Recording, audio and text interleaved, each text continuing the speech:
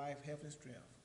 Father, thank you for allowing us to gather together, again together today, Lord, to let us make plans for the future of this Marlboro County community. Father, these are all blessings in your son Jesus' name. Amen. Amen. As Ms. Plato said, said she wasn't gonna be able to attend today, so we'll, uh, yeah, I think we're gonna try to do a, a picture for our, update our website and stuff, but we'll do that next month, if that's good with everybody, so we'll send another email out. Uh, The approval of the agenda items, everybody had a chance to look over and got anything that? You Don't have anything to, hear a motion to approve the agenda items? All right. So Allen, second by Councilman uh, Gladden. All in favor, raise your right hand. Right, it's unanimous. Thank you. Next, we got a public hearing. We'll Call our public hearing to order open it up. It's for ordinance seven forty-three. And, uh, Mr. Haynes, would you? Mr. Chairman, members of council, this is an ordinance, so the ordinance you're considering is an ordinance to develop a joint county industrial and business park in conjunction with Dillon County, uh, South Carolina, obviously, uh, pursuant to Article eight of Section thirteen of the South Carolina Constitution and South Carolina Code of Laws of nineteen seventy-six, four one one seventy, as amended to provide for a written agreement with Dillon County to develop a park. This allows an industry to, to locate or a business, an industry to locate in a particular location and receive, uh, different kinds of benefits and maybe benefit, maybe different incentives than they otherwise could if the two counties are working together on this uh, joint park. We will, we will receive some amount of, uh, taxes from the business, although that's not much. Um, But, uh, but there is, there is something, that's the only, that's the only obligation that the county, that the county has, we just agreed to be a partnership, in partnership with Dillon County in this case. All right. Any council members have anything?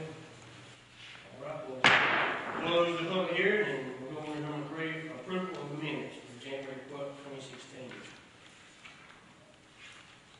And Reed, do we have a, Make a motion to accept the minutes as approved as presented. Laura?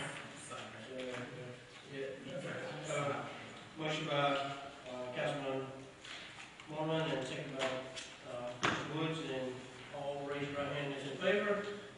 It's unanimous, thanks, Sarah. Uh, Next thing is old business, ordinance seven forty-three, and it's the same thing that we just had heard for, uh, the public hearing on. This will be the second reading. Uh, Mr. Haynes just told us exactly what it was, and I think this, uh, this is something that we do town to town with other counties, so, uh, I guess if we, oh, we have a motion on the floor to move forward. Mr. Chair, I make a motion to move, um, the second ordinance, seven fourteen on second reading. Motion by Mr. Woods. Second. Second by Mr. Councilman Woodland. Uh, All in favor, raise your right hand. All right, unanimous. All right, next thing is new business. And So, uh, it's resolution zero one one six zero one, it's a resolution authorizing the purchase of a blanket fidelity bond covering county officials and employees who are statutorily required to be bonded.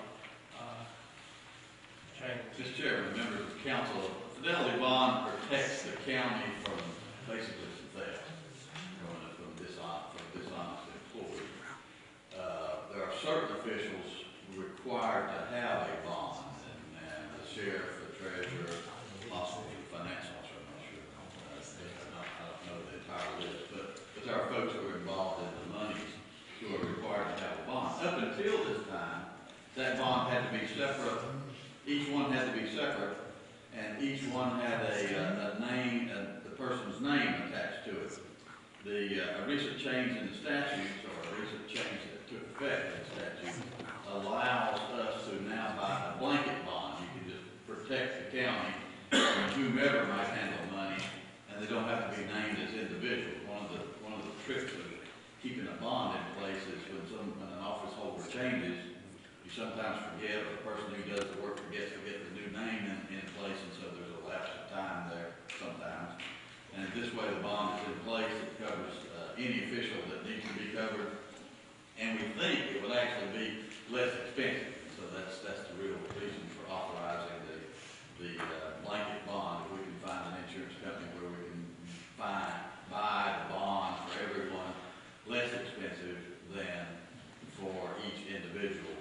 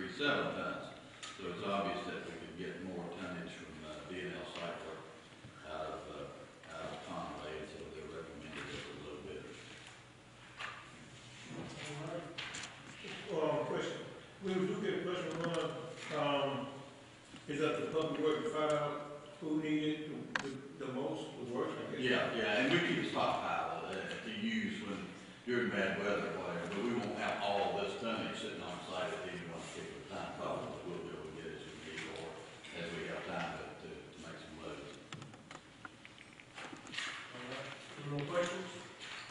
All right, we have, uh, it was from D and L Site Works, a recommendation to, uh, move forward. We have a motion. All right. So move. All right. Councilman Woods, have a second. Councilman Moore, all in favor, raise your right hand. All right, that's unanimous. Uh, next thing we have is appointments to boards and commissions. Uh, at your desk, everybody has at your desk, uh, every year we come up, uh, the chairman has to come up with some names, put, uh, each individual, uh, uh, council person on some committees, and this is what I come up with, is, uh, did you see, and, uh, Weston served in that, uh, caliber, and, I mean, uh, we have some ideas to move forward, and I think everybody does, so, uh, that's where we want to go with this year. If everybody has any complaints, just let us know, we'll work around it.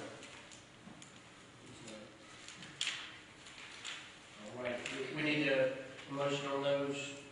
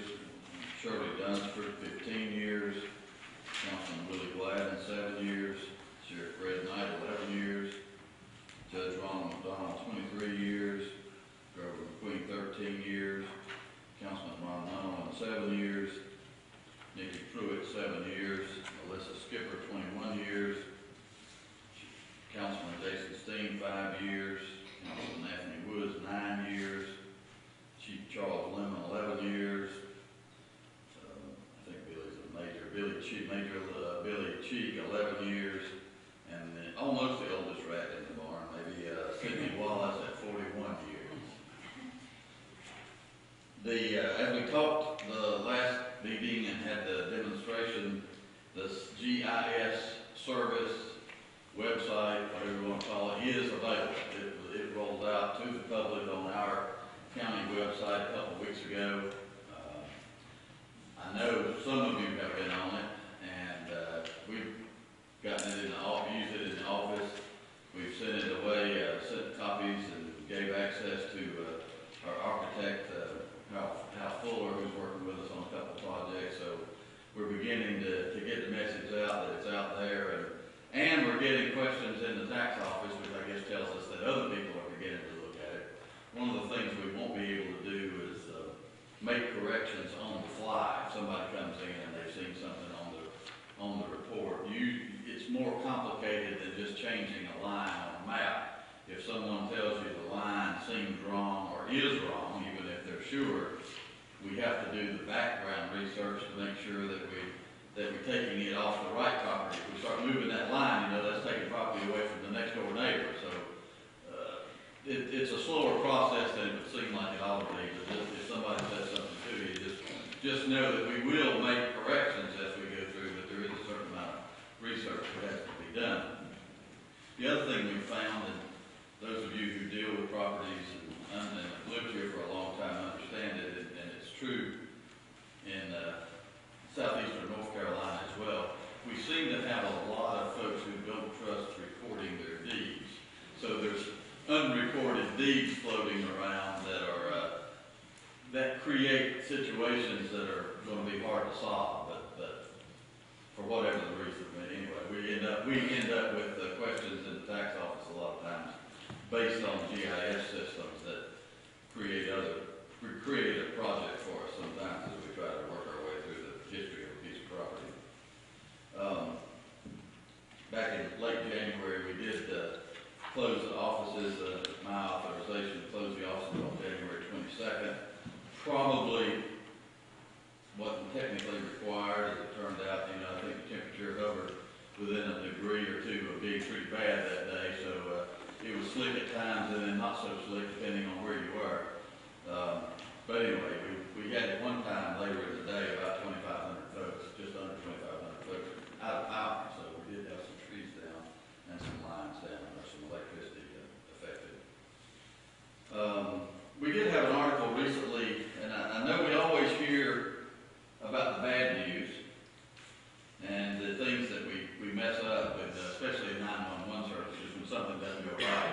But if you saw in the newspaper, the article written by our own Lynn McQueen, that, uh, we had an article, or we were mentioned, our employee was mentioned in an article about the dispatcher staying with a grandmother who was delivering her own grandchild. So it was kind of, it was interesting in that they weren't prodded to say these things, and to my knowledge, and, and were complimentary of the girl, the lady who stayed on the line at nine-one-one, and, and gave them ideas, gave them suggestions, helped them through the process, and, and talked them on their way through the hospital. But it's, it's, it's, uh, it's good that you have to look past the Clemson shirts on the, in the picture, but other than that, it's, a, uh, it, it's an interesting article, and uh, we want to make sure we share, share good stories about our employees as well as those that, uh, aren't as good. Mr. Haynes, what date is that? April? It, it's last week, Oh, okay. uh, fourth, fourth, yeah.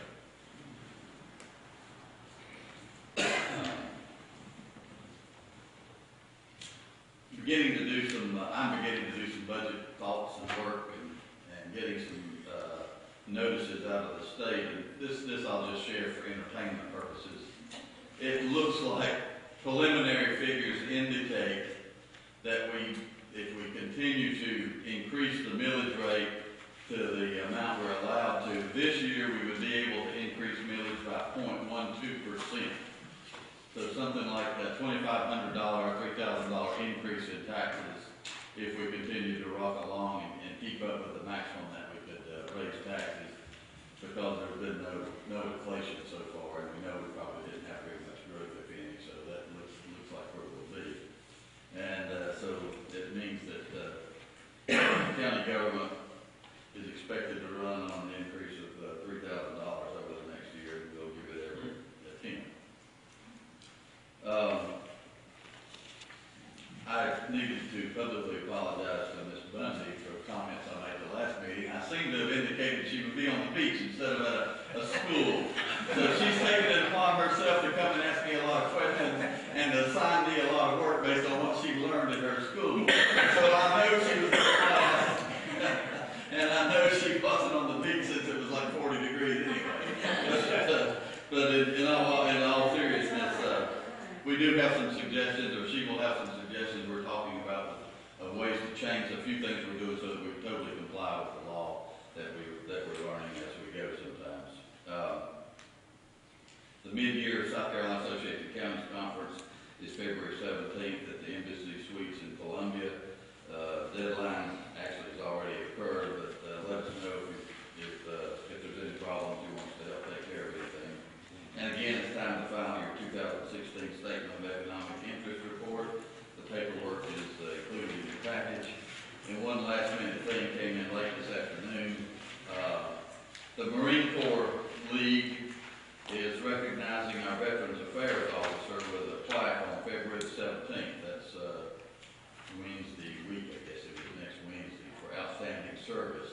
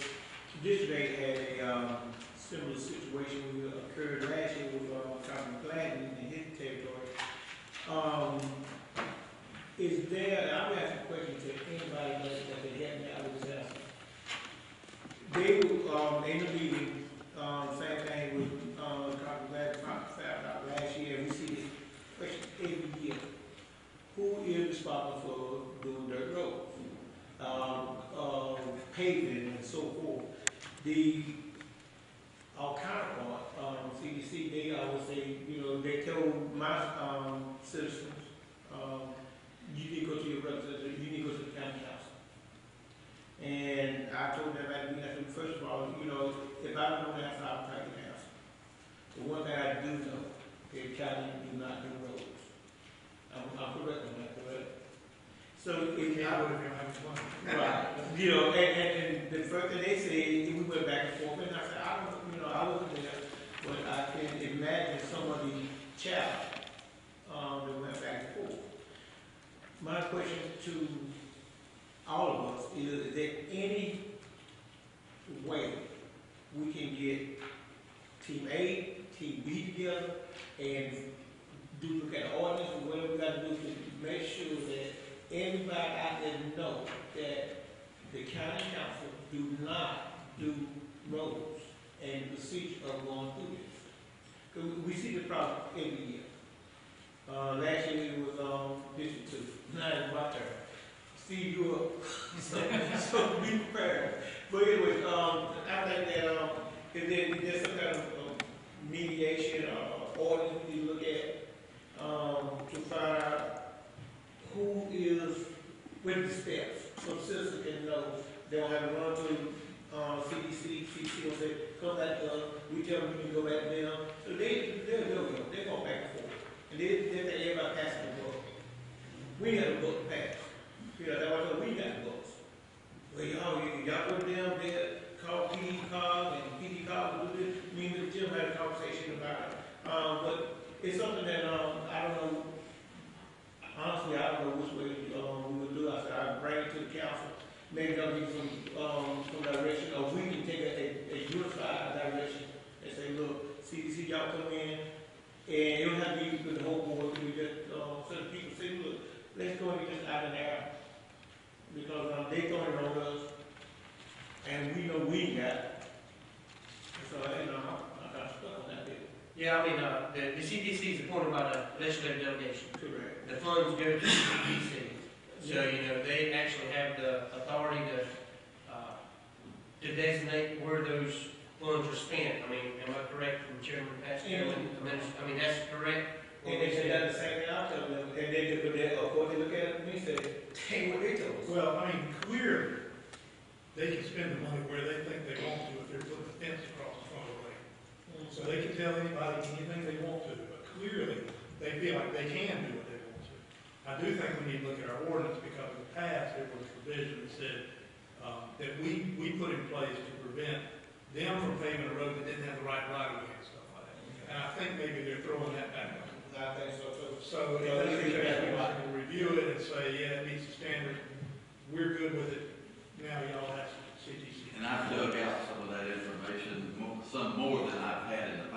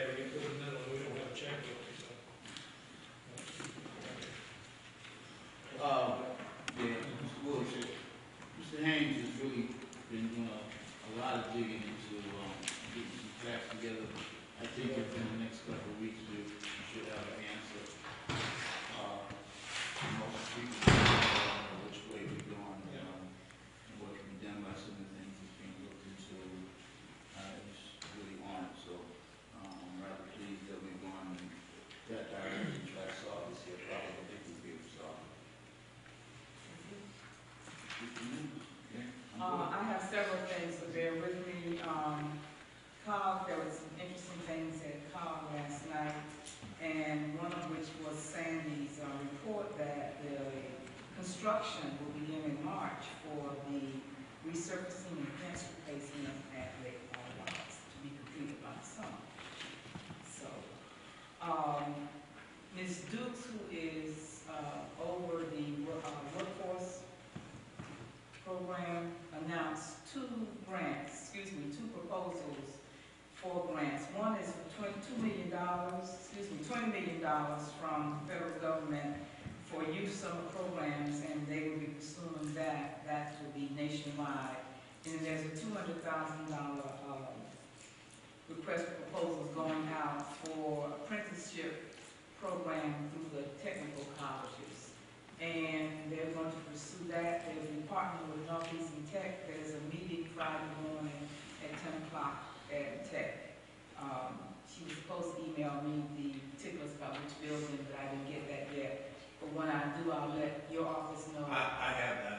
I'll, Okay. I'll forward it. All right, that's I've fine. already forwarded it to all of our industries. In addition to that, I have a couple other things. Thank you, Mr. King. Um, And Ms. Dukes is very good at what she does. She's on a couple of national boards, so she represents us well. Um, Mr. Haynes, I'm glad you're thinking about the budget. Um, The COG operates on money from the state and money from the counties, and what comes from the counties is based on a formula capital. Um, there have been no increases seven counties that are in the Pitney College since 1998, when it was raised from 45 cents to 60 cents. Um, an increase to 75 cents was approved um, last night. We will um, increase what we have to give about $4,300. We were at 17, 359 down, 17,000, um, and we'll be adding another 4,339 gonna send you all the letter. There goes the millage. Yes, yes. And everybody's familiar with Sandy, who does all the engineering. She's driving around in a Jeep that's two hundred, two thousand, two thousand five. So they suffer from the same thing. Uh, they used to get a million dollars from the state. They got forty-eight thousand dollars last year, so everybody's in the crunch. And they may, she does all of her work at cost. So they may have a small increase. And even with that, the counties pay much less than what you would pay an engineering firm to come in and do the work that they're doing. So we've got to spread the pain around, um, with that. Um, one more thing, sure I everything. Uh, I'm glad to see Mr. Smith here tonight. Back in November, at the beginning of the agenda meeting, there was discussion about helping a farmer um, that had some chicken houses or something, the road was washed out, and you all were saying that you had to do something to help. And at that time, I brought up the condition, it's been about eight years, Mr. Smith. Uh, Norwood Acres is a nice development, uh, brick homes established, uh, used to be middle income, I guess we all down or not with the economy. But at that meeting, if you remember, I asked that, um, staff would approach, um, conservation, Corps of Engineers, whoever, and to find out who owns that farmland, because it appears that there's a drainage problem. And it could be something that that farmer or the owner of the land could do in terms of, um, uh, terracing or plowing in a different way to prevent that runoff. Or, once we identify who it is, then there may be something, some legal action could be taken by the community or the houses that are being flooded. But we won't know until we get the information. So I'm asking that you help one citizen, that you help a group of citizens. And that was back in November, we haven't had a report since then. So Mr. Smith, we've been working on it. Thank you, Judge. Thank you. That's it. Steve, I- I'd like to add a little bit to what Councilman Wood brought up about the situation with roads. And I don't have to tell Mr. Haynes, but I know he's been getting steady, getting calls, the roads are terrible. And no question, the dirt roads are, there's some of them real nice. But uh, getting back to, you know, all this name calling, I think what needs to happen is either a forum, or we need to educate the public, who is responsible for what? You know, if they come here and we tell them, you gotta see those folks, and those folks are sending them back to us, that's not right. Give them the facts as they are, and then when they publish it in the paper. But the point of the matter is, you gotta educate the public so they know it's not us holding up the boat. Uh, Of course, they can get the boat held up anywhere they go now, to get off the main highway. But, uh, it, it is a terrible problem, and- and I tell you, when somebody's frustrated and they don't know where to turn, that's the thing. At least give them somewhere where they can air their views. Whether they get the road, any rock on it or not, but, uh, you know, that bouncing, on- that ping ponging is not right. All I'm saying is do something to educate the public. If we have to come out with a form, or we have to come out with some kind of formulated statement to where at least they got some idea where air their. Yeah, I agree, I mean, that's been a, a topic for the last longest, I mean, you know, the CTC meets the same night we meet. Know, We do know, but I mean, once we get ordinances and look back over ordinances and that, actually get our part and always see black and white and find out what it is, you know, we may have to take a step to post something in the newspaper, and let it be known, you know. Uh, you know, I think that's set there to actually help the citizens of the county, and that's what the, the money's designed for, to fix these roads, I mean, that's, uh, the, you know, the fence and the lake don't look good, but it does not affect nobody or an emergency service personnel to get into a house whenever they're in need. You know, that's the thing about these dirt roads, you know, if you have a, a washed out dirt road and an ambulance needs to get somebody and you can't get to it, uh, that's, that's not, you know, that, I think that's, there's some steps to look at, so, uh, yeah, everybody wants, uh, everybody wants to see, uh, uh, this come to light, at least hold some people accountable, and let it get out there, who's responsible for what. So, uh, I think that is it, so, And, and it's happening right now, everybody's uh, frustrated with it because it's terrible, they can't get in and out, nobody can get to them. School bus can't get the children, schools hollering, we can't come down your road till you get it fixed. And they just have nowhere to turn.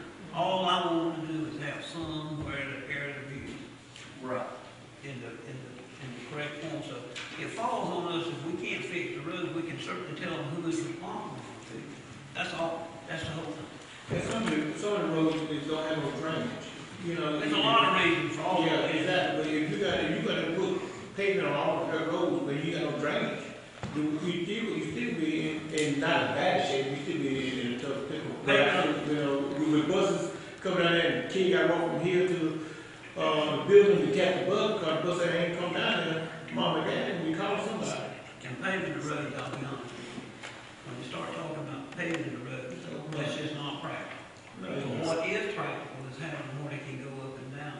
Now, you got to understand, we have had s- terrible rainy season, Yeah. and, and that's compounding the frustration. Normally, we get a few, one, one or two, but it's just terrible all over. Now, everybody's complaining, and the water's standing, still standing, the ditches are running. It's, it's hard to imagine how much water's still in the ditches out there. Yeah. I mean, they're full. Yeah. But anyway, let's keep working. All right. Well, I don't have anything else, so everybody's good. Have a motion to adjourn. Motion. All right. Motion second. All in favor? All right.